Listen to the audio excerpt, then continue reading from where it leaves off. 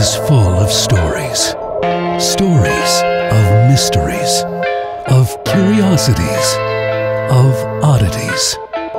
Join Kat and Jethro Gilligan Toth for the strange, the bizarre, the unexpected as they lift the lid and cautiously peer inside the box of oddities.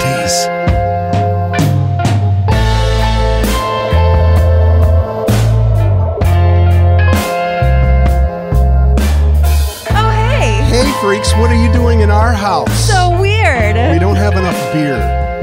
Uh, sorry for all of you. Yeah. Um, we're so glad you joined us uh, this evening. This is our very first virtual live from the partially furnished basement tour. Partially finished basement. Partially finished and furnished. Somewhat furnished. Yeah, well, it's got a bean bag.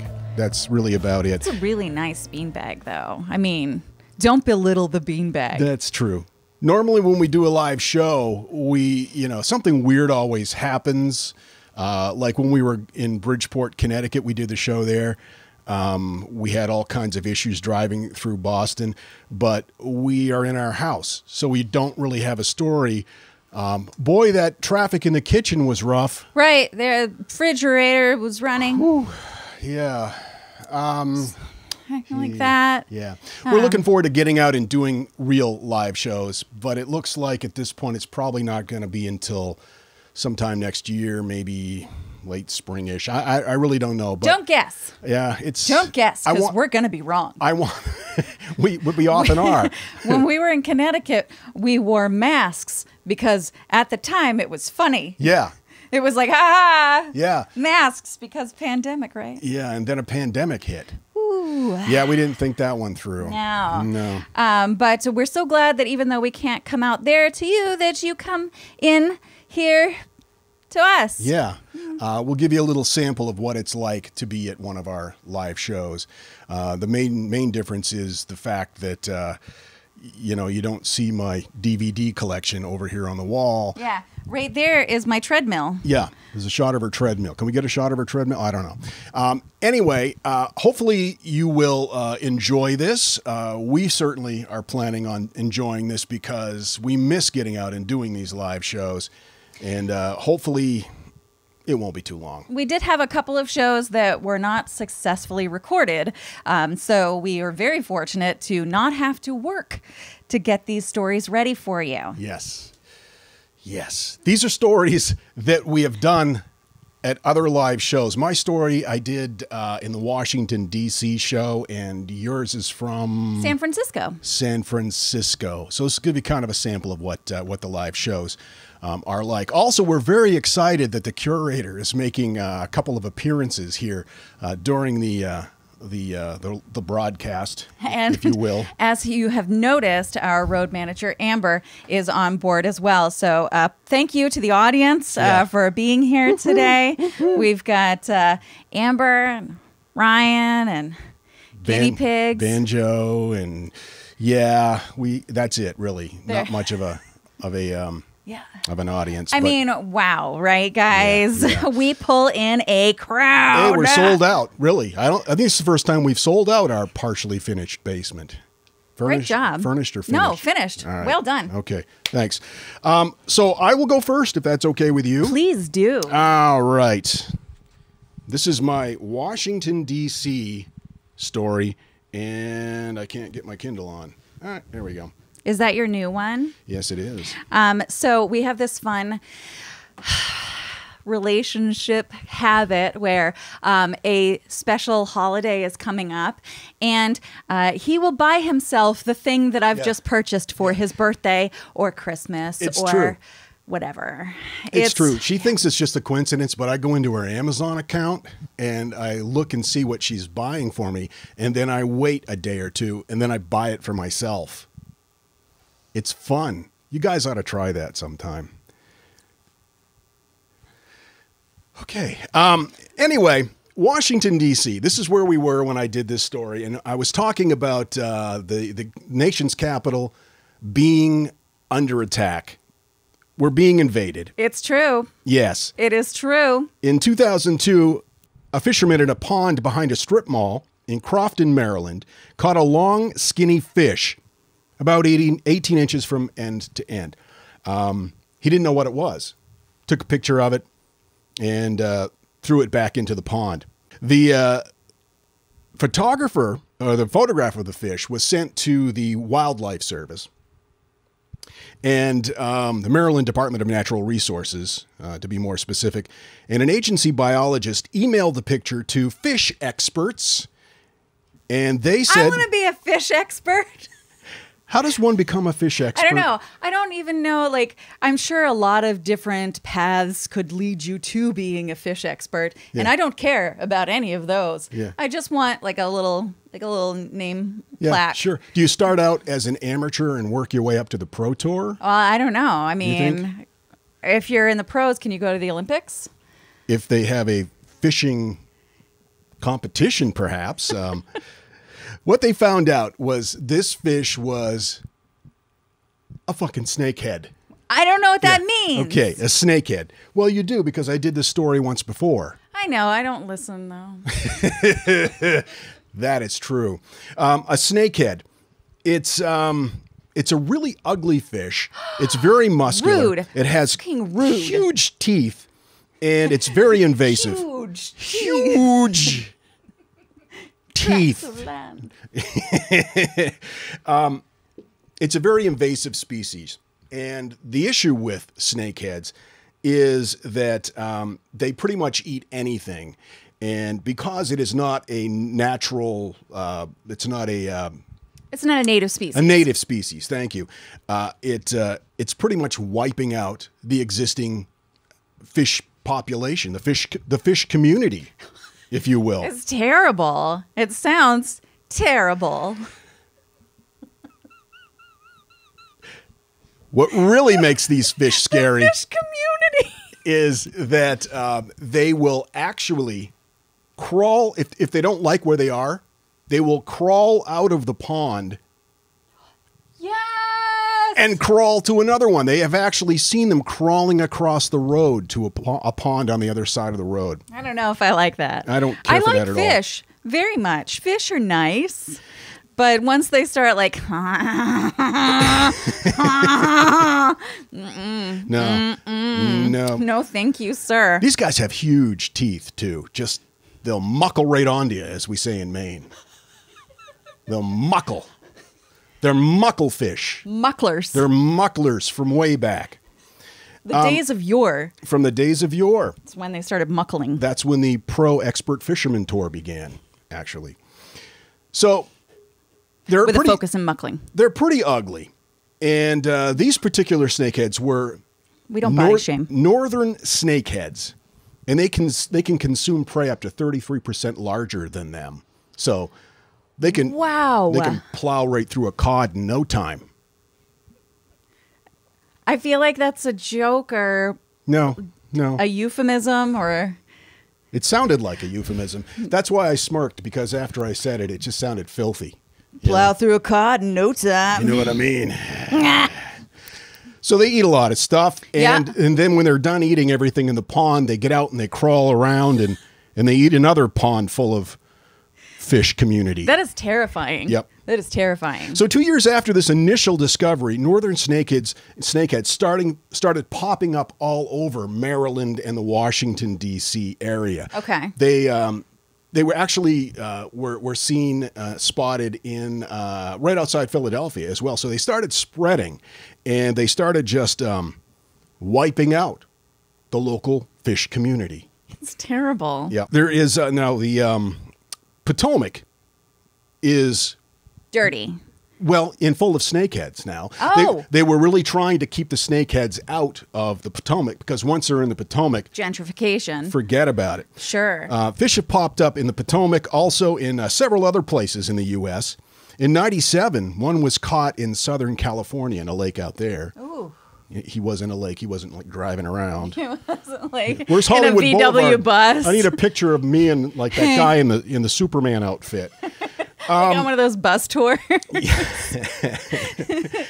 So this that was a past this past April, another angler caught a very feisty northern snakehead in Pine Lake in uh, Wheaton, Maryland.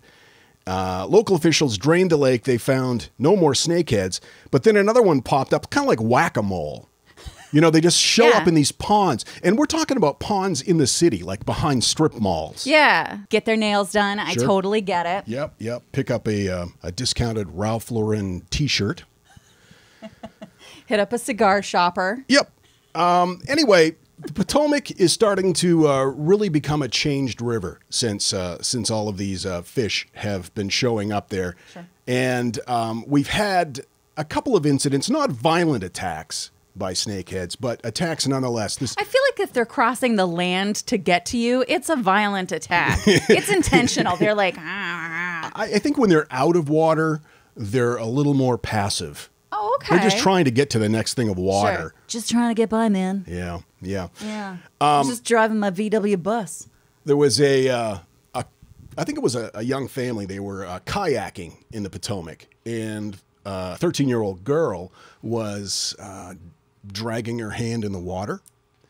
And as she was doing this, she saw like this shiny flashing in the water. And about two seconds later, a snakehead lunged at her.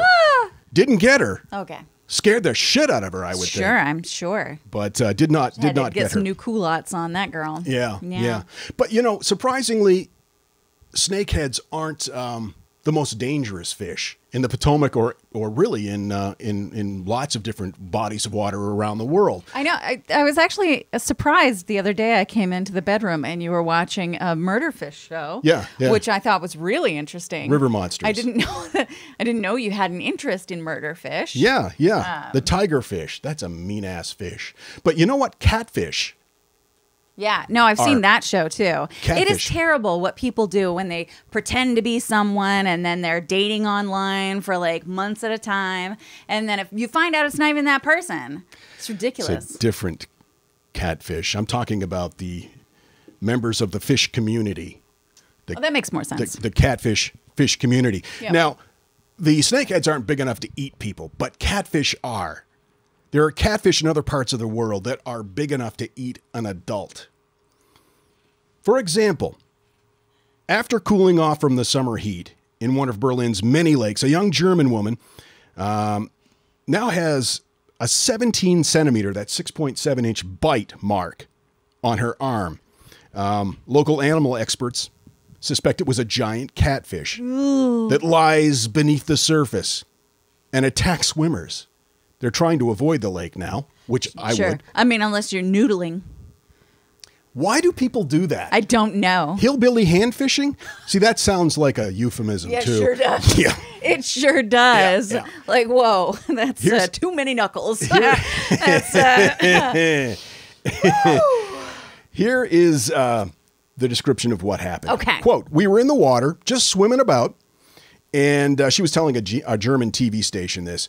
When my. I I have a quick question. You Yeah. said like a person eating catfish, like a Yeah. like a human, and of course we're a, we're a varied people. So was it like a Snooki sized person or like a Dwayne the Rock Johnson sized person? it was an adult woman.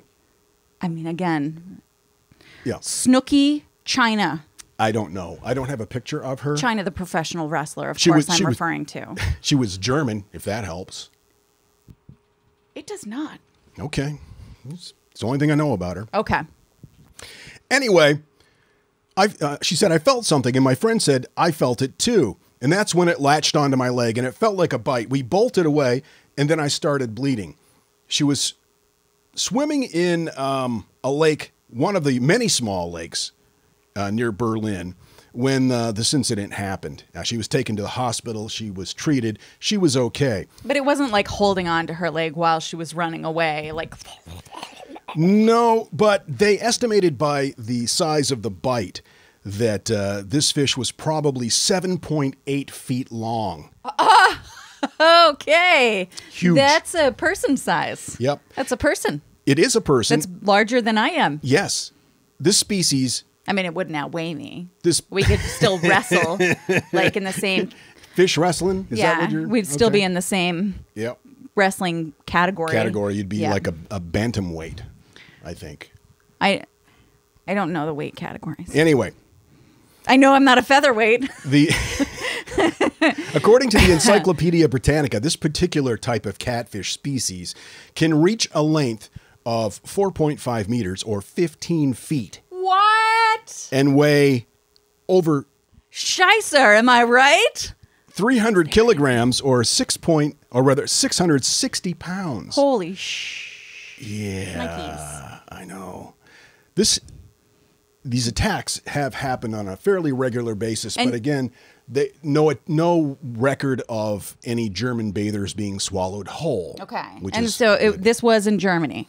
yes, this was in Germany. Nine. Mm-mm. that's me. Uh, that's all of my German. Wait, no, Brachen.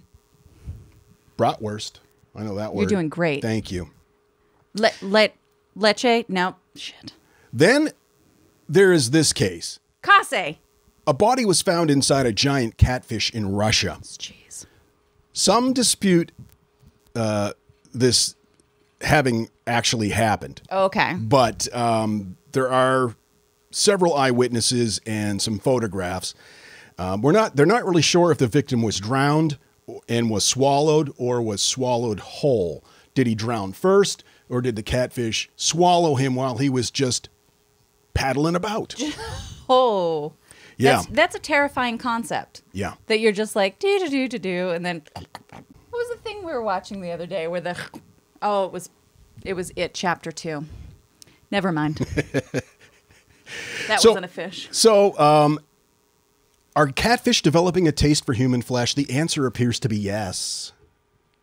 Yes, they are. Ancient fish theorists say yes. In the in the Kali River of India, a number of human bodies have been uh, they dispose of them after funeral rites right. in in the river, and the catfish will eat them.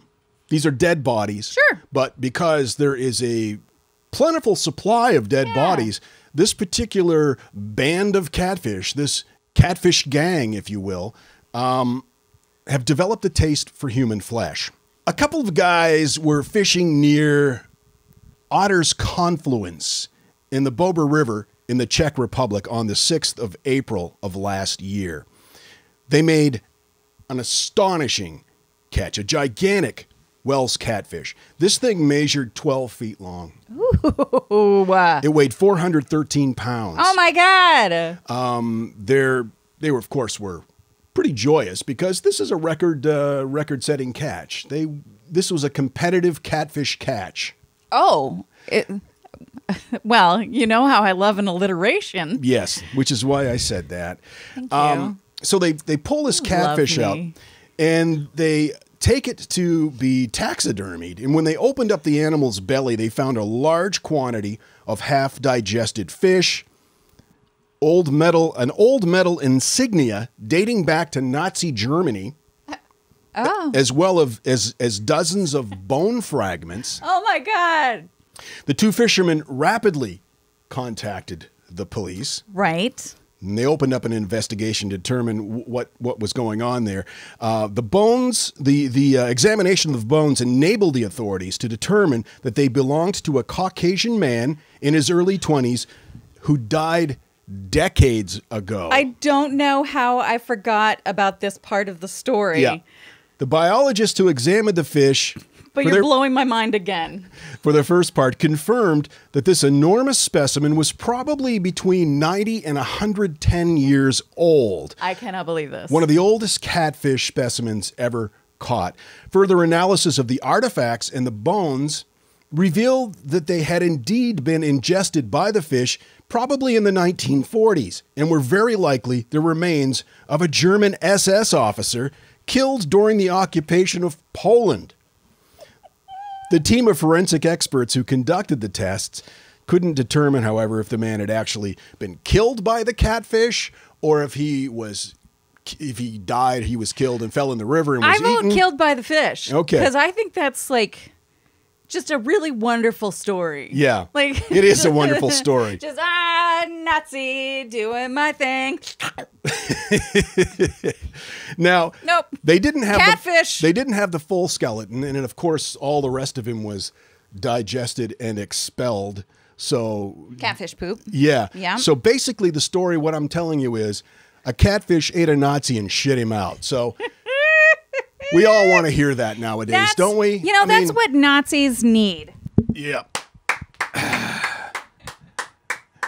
Catfish ate a Nazi I love it. and shit him out. I love it. Fuck Nazis. That's a good time. That was wonderful. Thank you. oh, I got pictures. I need to show you pictures. Oh, Holy yes, crap. please. Here we go. All right. Here is the picture of the giant catfish. That is one big ass fish. I don't even understand. Like, what is the sh- the shape of it? Doesn't make any sense. It's huge. Here's a picture of the bone fragments. Yeah. And I'm enjoying this too much. here is a picture of the Nazi insignia. This blows my mind. yeah. So there you go. I don't know how I forgot about that part of the story. That's the best I part. may have been drinking a lot in DC. well, that is- I think there are a lot of people drinking a lot in DC. yeah, well, this this is a good point. Huh? Yeah, Am I right? yeah. All right. Okay. Here's Richard Cheese. Thanks for listening to the box of oddities. Now it's time for intermission, so won't you please stretch your legs and have a smoke?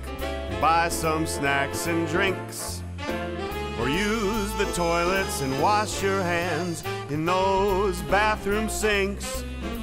However, if you're not attending the live show right now, this doesn't apply to you, and you can pee wherever. We don't care when or how. But nonetheless, the larger point I'm making is just this it's intermission, and we'll be back as soon as everyone takes a piss.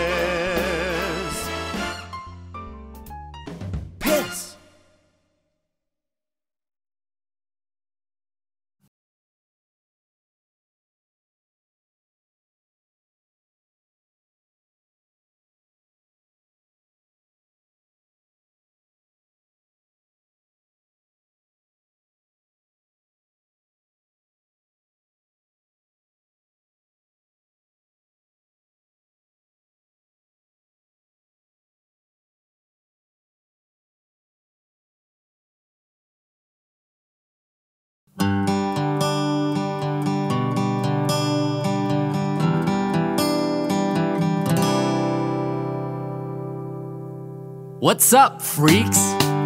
Are you ready for the strange, the bizarre, the unexpected? Kat and Jethro, Gilligan Toth tell the oddest stories to your ears unprotected. Stories of pugs and their snorties. How weird.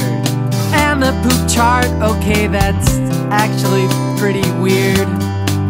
Any hoozle. Listeners, for being with us here. As we lift the lid and cautiously peer inside the box of oddities.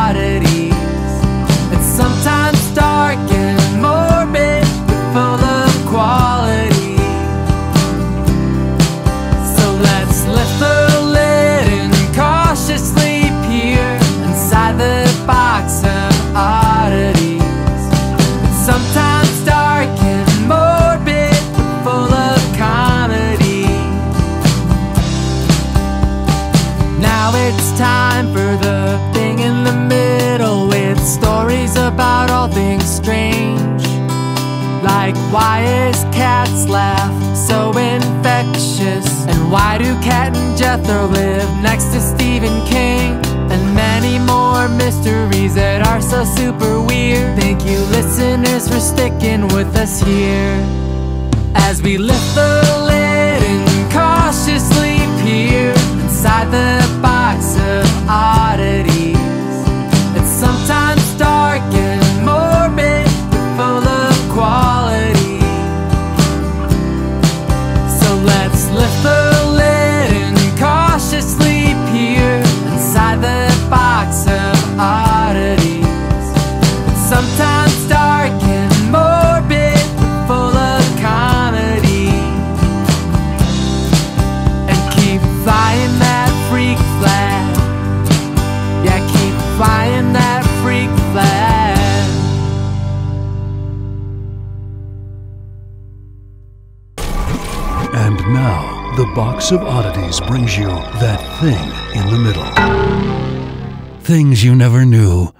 the curator.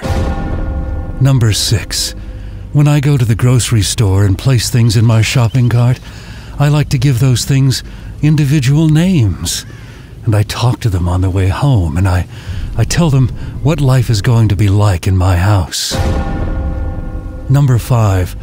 I have a mole somewhere on my body in the shape of the state of Arizona. I like to call it my little Grand Canyon. Number four. My favorite Disney character is Pluto because he's Mickey's best friend. Number three. I once ran 18 miles of a 26 mile marathon, having eaten only a light dinner the night before with three martinis. I couldn't walk for days. Number two, if you'd like to send me KFC gift cards, well, I wouldn't turn them down. And finally, the number one thing you don't know about the curator.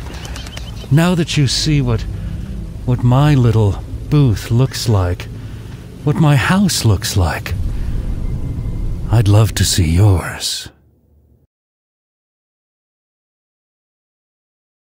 The Box of Oddities with Kat and Jethro Gilligan Toth. Hey, I forgot my hat. I forgot my shoes. Oh my gosh. You- You're not wearing shoes? No. I'm not going to wear shoes either. Screw that. Fuck shoes, I say. Gross. That is, I mean, I'm not kink shaming or anything, You're- but you're kink for shaming. private time. Okay, good point. For private time. Um, speaking of which, uh, big thanks to uh, Elysian. Is that how we've agreed that Elysian. Elysian? Yeah. Uh, Space Dust IPA for uh, providing me with delicious beverage tonight. And this is a local Maine microbrew uh, from Lyman, Maine, actually. Funky Bow. which I like very much. That's really good. Anyway, what you got for me? Oh yeah, it's that time. Here we go. Entertain me. okay. So, this is the story that I compiled for our San Francisco show, um, which, by the way, was a blast. Um, we're getting comfortable. We're getting comfortable. All right. Um, so I did start off the story with a little bit of history about San Francisco. Uh, went back to the earliest archaeological evidence uh, of the city, which dates to about 3000 BCE, E, by the way, in case you're curious. It's uh, just a little bit of archaeological uh, history for you. um, but in March of 1776, the Spanish established the Presidio of San Francisco, and the area became a part of Mexico upon independence from Spain, 1821. I went through some history stuff because we were in San Francisco, but right now we're in our basement, so I'm going to zip right past some of this. shoot, shoot, Most of that was just to please the local audience. Yeah, it's kind of like when you go to, let's say, uh, any club and go, "You guys like to get high?" huh? All right. Yeah. Because then they're automatically in the habit of agreeing with you, and you move You're, on. you're, you're setting a precedent. That's right. Is what you're doing. You're getting them Yeah. to say yes at the beginning. Um. so you guys like to get high, all right? yeah, okay. It was not until, though, 1859 that the United States got their first emperor. Joshua Abram Norton, better known as Emperor Norton. He had his own currency. He made nation altering proclamations, some of which turned out to be kind of premonitory. And law enforcement saluted him on the street. Who is he? Okay, so Norton was born in England, but spent most of his early life in South Africa. He sailed west after the death of his mother in 1846 and his father in 1848, arriving in San Francisco during the heady days of the 1849 gold rush.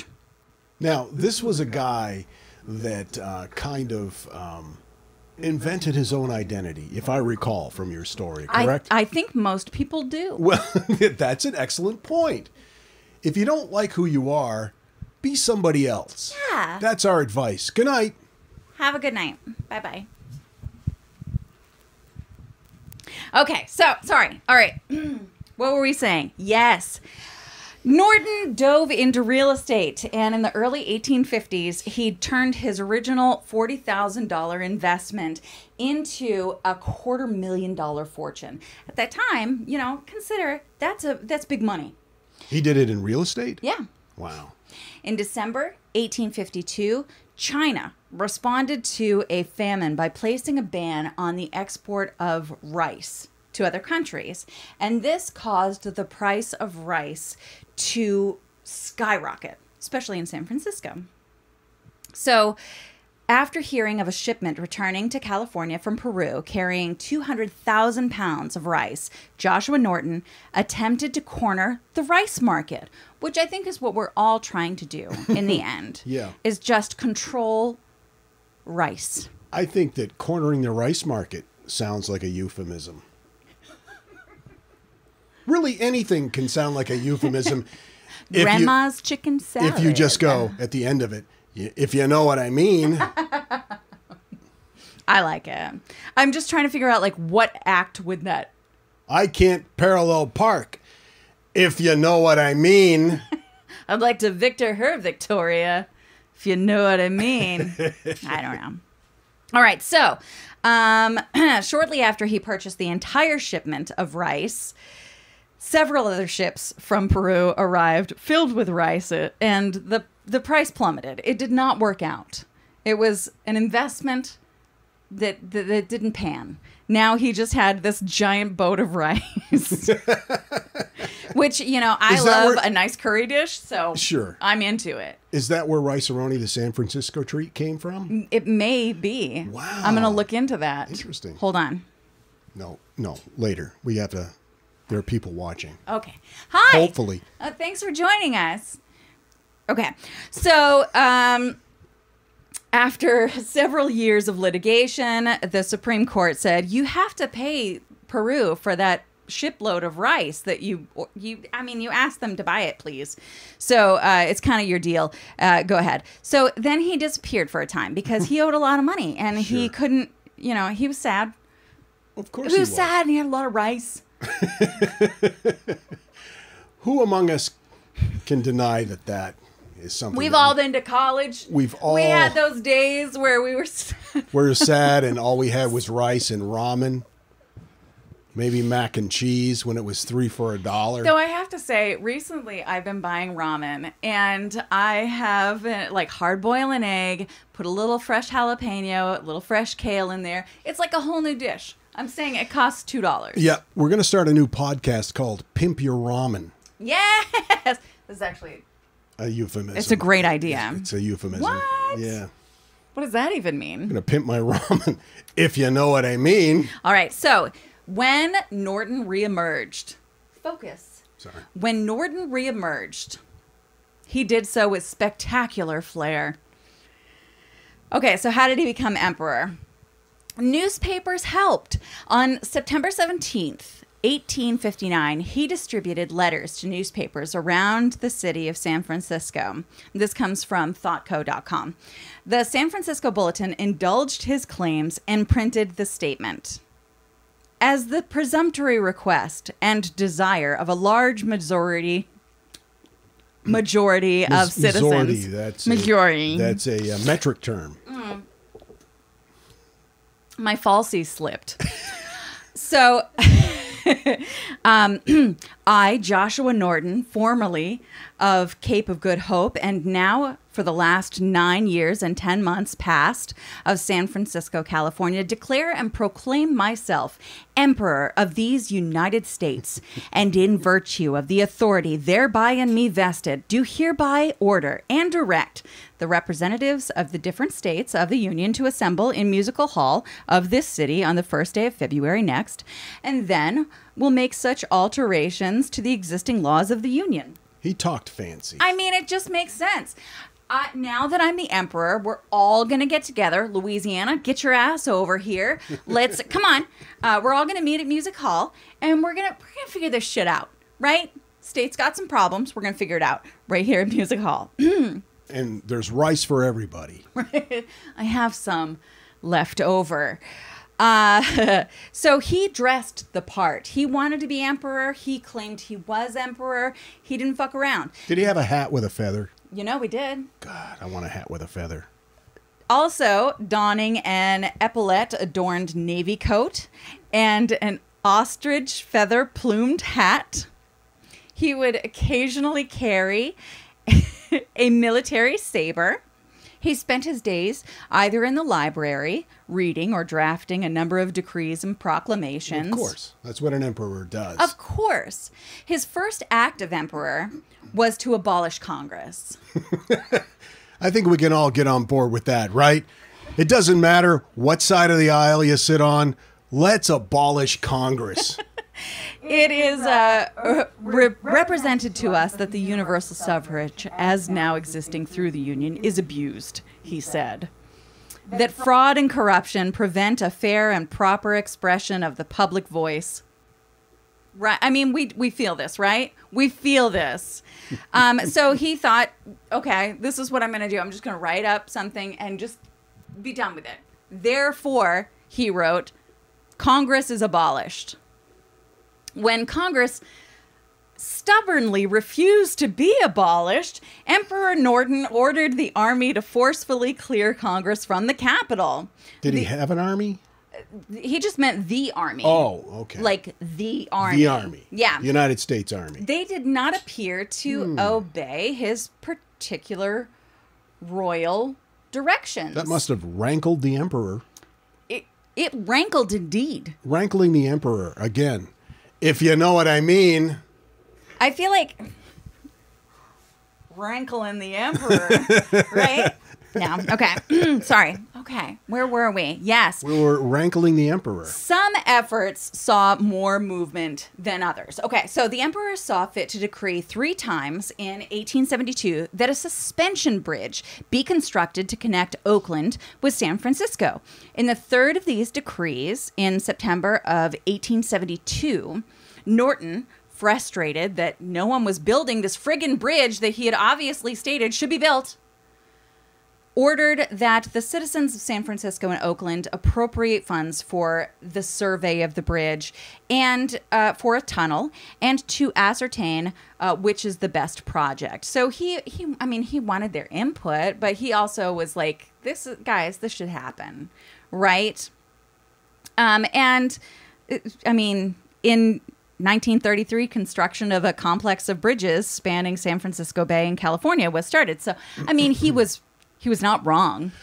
He was ahead of his time in many ways. He certainly was. going all the way back to the abolishing Congress thing. So, Norton cast himself as a social justice warrior, concerned with the problems facing the subjects of the empire. Of course, he's emperor, so he's gotta he's gotta take care of his flock. You know, uh, in Wait the a minute. early, Emperors have flocks. I think so. Okay. I didn't realize that. That's interesting. Who who doesn't have a flock? I don't have a flock. You have a flock. No, no, I'm flockless. I would say we're your flock. Oh, flock off. So,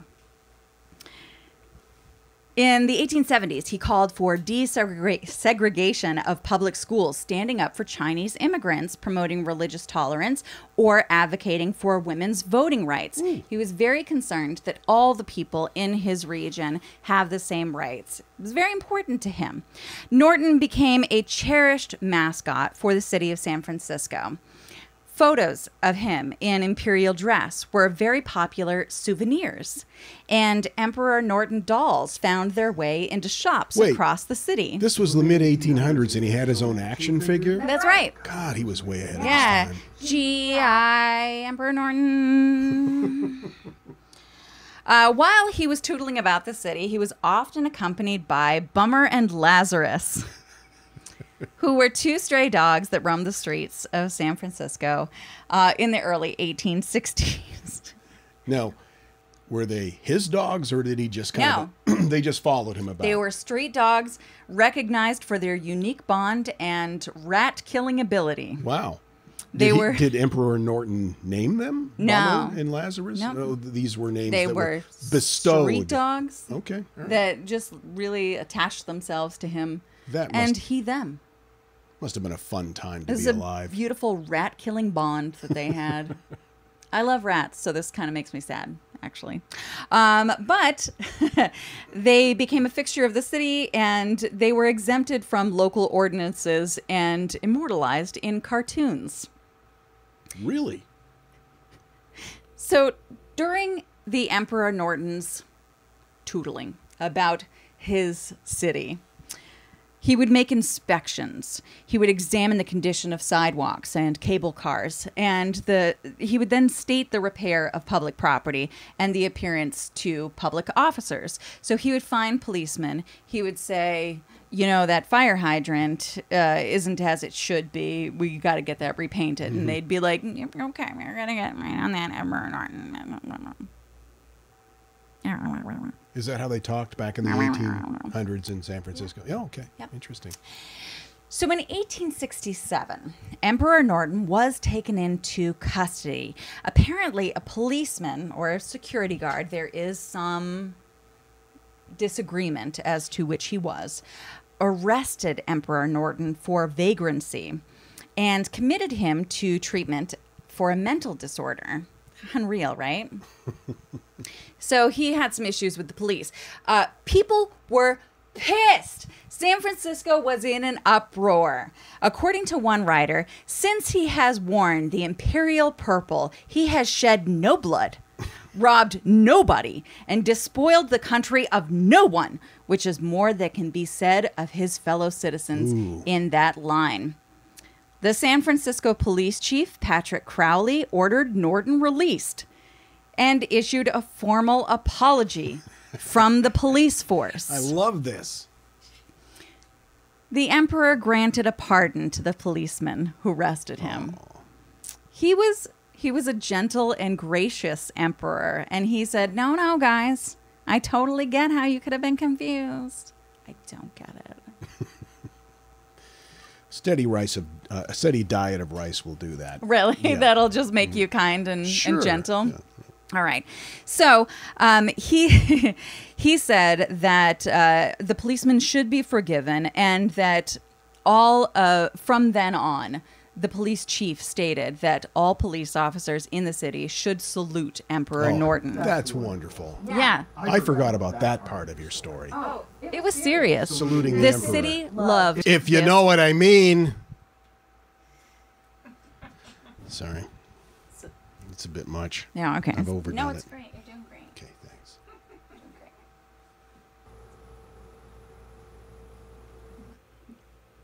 It's a character I'm developing called Creepy Creepy Drinking, Drinking Guy. Creepy Drinking Guy. Goes I've like seen this. it before.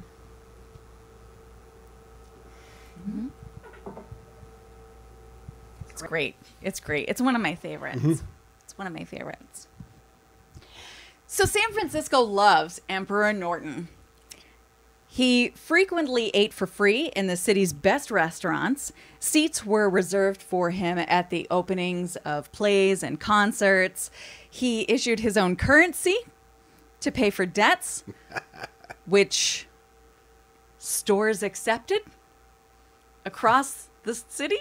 That's wonderful. Just made it, just made it, gave it out. They were like, this is great. We will accept this. This is dollars. and uh, in August of 1870, Norton was listed by the census taker with the occupation of emperor, living at 624 Commercial Street. Why didn't we go there when we were in San Francisco? Because we're idiots. We should have gone to 624 Central Street and paid homage to the- Commercial Street. Commercial not Street. even listening to me? what? So, unfortunately, as we all do, in 1880, Emperor Norton collapsed in front of Old St. Mary's Cathedral. I mean, we don't all collapse in front of Old St. Mary's Cathedral, but Oh, you know what I'm getting to. We should all be so lucky. Although every effort was made to get Emperor Norton to the nearest hospital, he did pass away. How old was he? I don't know. I'd have to do the math, and that's too much to ask of me at this point. I understand. Okay. A search of Norton's boarding house room after his death confirmed that he was living in poverty, even though he could make his own money. He had approximately five um, U.S. dollars on his person when he collapsed, and a gold sovereign worth approximately 250 was found in his room. Among his personal items were a collection of walking sticks, sassy as they were, multiple hats and caps, and letters written to Queen Victoria. San Francisco gave Norton a send off fit for an emperor. The king is dead, read the headline in the Chronicle. He is dead, lamented another paper, and no citizen of San Francisco could have been taken away with more sadness and more greatly missed than Emperor Norton. The first funeral arrangements planned to bury Emperor Norton in a pauper's coffin were shunned. Shun. Shunned. non-believer. How a Pacific Club, the San Francisco Businesswomen's uh, Association, elected to pay for a rosewood casket befitting a dignified gentleman. The funeral procession on January 10, 1880, was attended by as many as 30,000 of San Francisco's 230,000 residents. The procession itself was two miles long. What? Norton was buried in the Masonic Cemetery. In 1934, his casket was transferred, along with all other graves, to Woodlawn Cemetery in California. Just going to give you a moment to think about that. California. Mm. California. Likes to party. Come. Oh, we went with different songs. Mm, it happens. Interesting. I bit my mm-hmm. tongue.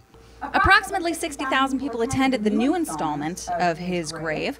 Flags across the city flew at half mast, and the inscription on the new tombstone read Norton I, Emperor of the United States and Protector of Mexico.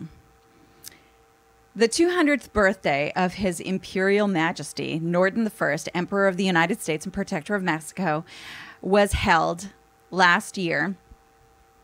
And San Francisco City Hall was lit in gold to honor him.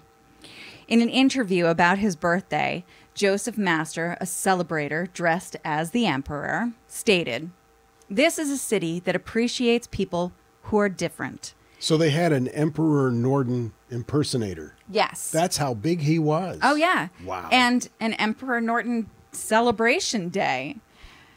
This is a city that appreciates people who are different, he said, and that people can come here and reinvent themselves in that is a spirit that continues to run through our city. Mm. And that's what San Francisco is all about. I love that. I love it too. That's Emperor Norton. I remember you saying this in uh, the original telling of this story in San Francisco. I don't remember anything about that day. Uh, it was Cobb's Comedy Nightclub uh, down on the waterfront. I played an arcade game. Yeah, I remember that. Um, And I had a bunch of drinks. well, it was San Francisco. Sure. Um, but you said that uh, he declared all these different laws, and one of them was you had to pay a fine of like 25 bucks if you used the term Frisco. Yes, Frisco was not allowed in his book. He was not having it. It's San Francisco. Don't fuck around with the name of his city. The emperor was not having it. When when you said that at the live show in San Francisco, the audience went crazy. They were like, "Yes, we fucking hate that when people say Frisco." yeah. So don't say Frisco. Don't say Frisco. No. No. The emperor wave his finger at you, Yes, yes, he would. if you know what I mean. Anyway, uh, we're gonna do a um, virtual meet and greet on Yeah. Zoom Like a Zoom meeting. right after this, and there's the link. You can join us, and we we will answer all your questions. It'll be well, we'll answer some of them. We'll have a tip jar as well if you feel like partaking in that kind of business. No pressure. Yeah, we uh, we appreciate it though. But in in lieu of the question and answers here, I thought it'd be fun to show. Uh, the freaks, some of the wonderful stuff that people have brought to us during live shows or mailed to us. Um, I had some stuff here Yeah, somewhere. it's over there. oh, okay. Hang on. I'll get it. Yeah. You can go and get it. In the meantime, I'll talk about rice. So, oh, here's a hypodermic needle that uh, someone gave to us. I think they found it in like their dad's old doctor office.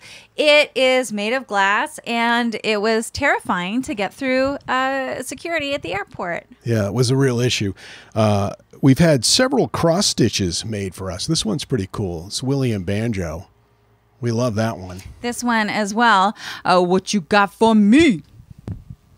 So cute. Thank you so much. Love the cross stitch. Uh, probably my favorite thing that's ever been done is coming for your dick. Rawr. Hold on. Coming for your dick. Rawr. Sorry, it's a little see through. My favorite is um, this particular wet specimen.